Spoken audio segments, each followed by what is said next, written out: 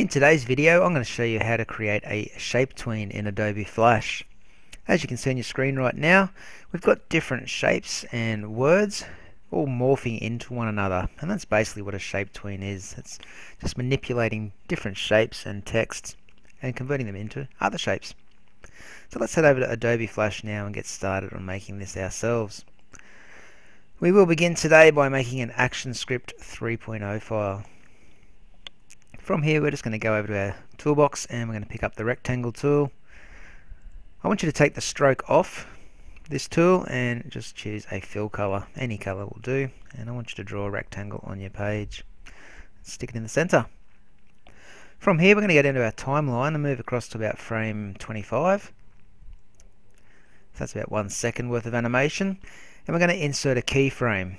And we do that by pressing F6 on our keyboard or going up to the insert menu, timeline and keyframe. So frame 25 we want this shape to change into a circle. So I'm going to delete by clicking on this rectangle and pressing delete on my keyboard. I'm going to delete that rectangle and now with my oval tool I'm going to choose a fill color and I'm just going to draw an oval on the page or a circle on the page actually I'll hold shift as I draw it to get a perfect circle I'm going to move that into the middle of the page so now looking at my timeline I've got an animation from frame 1 to frame 25 if I press enter you'll see it's mainly the rec red rectangle and at the end of the animation it changes into the blue circle. Now what we can do is use a tween in Flash to make this shape start as a rectangle and then morph into a blue circle over time. And to do that we simply right click our mouse anywhere between these two keyframes and we create a shape tween. Now as I use the scrubber here just to move the playhead we can see it starts as a rectangle and slowly over time it's morphing into that blue circle. So not only does it change color, it also changes shape. And that's a shape tween right there. It's quite simple. Remember you've got your starting point of your animation at frame 1 and your endpoint at frame 25. Flash uses tweening to fill in all those little frames in between our start and our endpoint. So let's keep going with this animation. We'll go up to frame 50 now and press F6 to put in a keyframe. Using our black arrow, we'll click on the circle and delete it. This time we're going to look for our Polystar tool.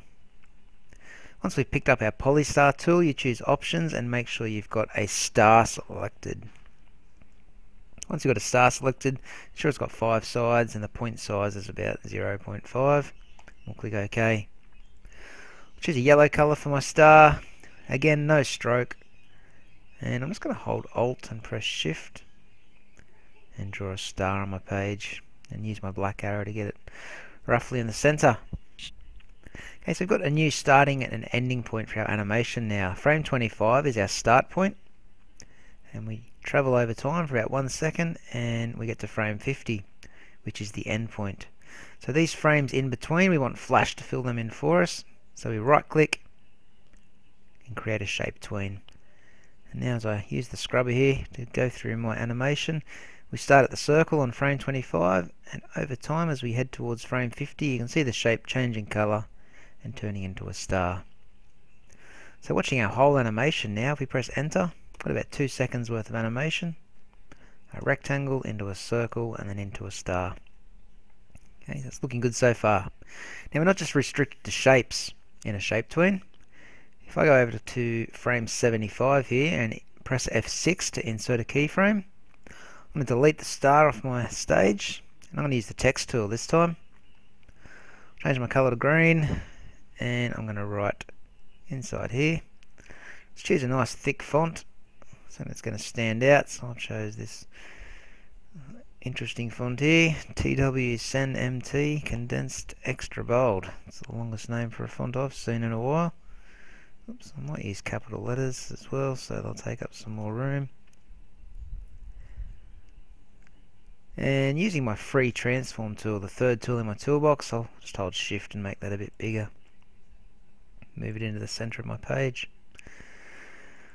Okay, so that's some text now. We can obviously convert shapes using the shape tween tool.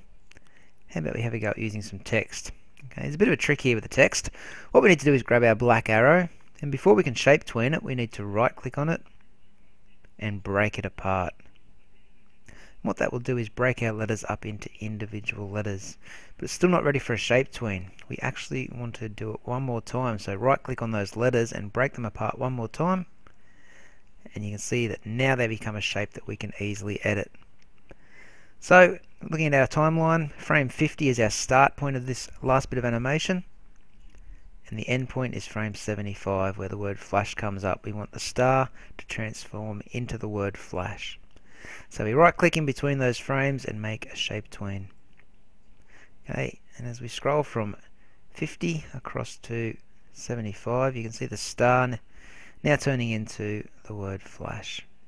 Okay, so let's play the animation. Okay, it's looking good. If I press Control Enter, this will repeat my animation over and over again. Now the word flash, you can see it doesn't stay up on our screen very long at the end of the animation. So let's just go across to frame 100 here and press F5 which puts in a blank frame. Okay, and that basically just has the word flash sitting on our stage for a whole second doing nothing. It just gives our viewers a bit of time to read what's going on there. So let's have a look at it. Okay, it just sits there for a second and then goes back to the start of the animation. Okay, so that's basically it. That's a shape tween. I'll just show you one other type of shape tween that can be done. I'll just go to new. You can make lines grow using the shape tween tool. So what I can do is just draw a little line on my page. I might use my black arrow to select that line and make it a bit thicker. We might make the stroke about 5.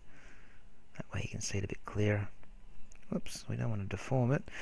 We just want to pick it up and move it down the bottom here. Okay, that's at frame 1. We've got this little line sitting on our page. We can go across to say frame 50 now. So that's about roughly 2 seconds into our animation and press F6.